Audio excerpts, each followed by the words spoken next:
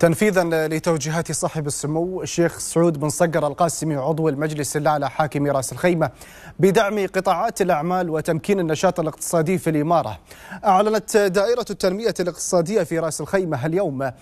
إعفاء شركات تنظيم المعارض وصالات الأفراح والمناسبات من رسوم الترخيص التجاري لعام 2021 وكذلك من المخالفات وغرامات التأخير التي ترتبت عليها بشكل كامل وبنسبة 100% وتأتي هذه التوجيهات ترجمة لرؤية سموه الرامية إلى وضع أسس وركائز قوية تضمن استمرارية الأعمال ونمو النشاط الاقتصادي في الإمارة في ظل الظروف الراهنة. وشملت التوجيهات الأخيرة سريان الإعفاء لمدة عام من تاريخ اعتماده بحيث تستفيد منه المنشآت المشمولة بالإعفاء في حال تجديدها للرخصة وفقا للتواريخ انتهاء الرخصة التجارية.